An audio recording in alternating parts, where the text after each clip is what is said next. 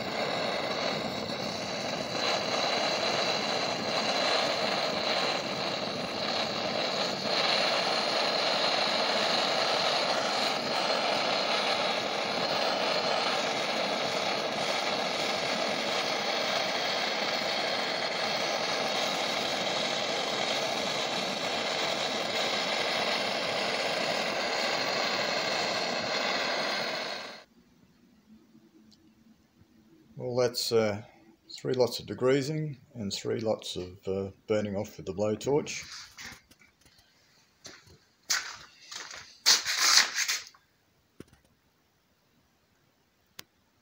Do one side, go around do the other with the torch.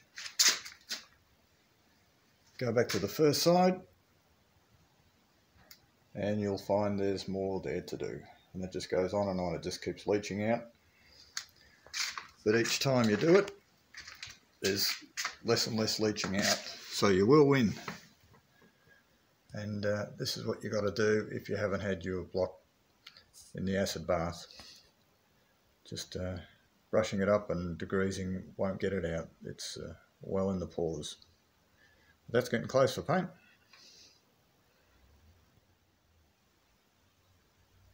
So next up, get rid of this bit of rust that fella.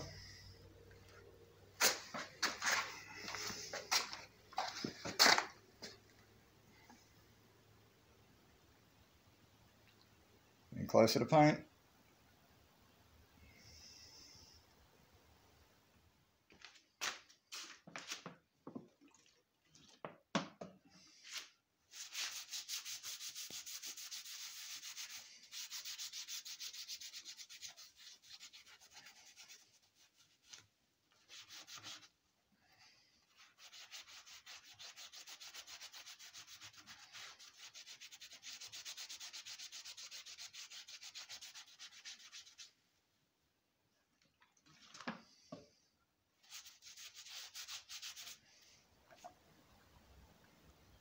Well, it's all masked up, ready to go.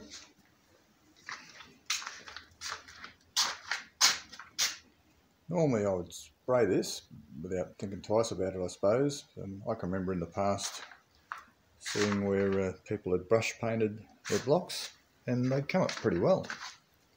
And uh, a while back I saw a video on YouTube, Uncle Tony's Garage, and uh, has some very useful tips on preparing the block, how he paints it, which is brushing, and uh, how he ends up with the, the paint lasting a long time. So if you're do, going to do a motor, I highly recommend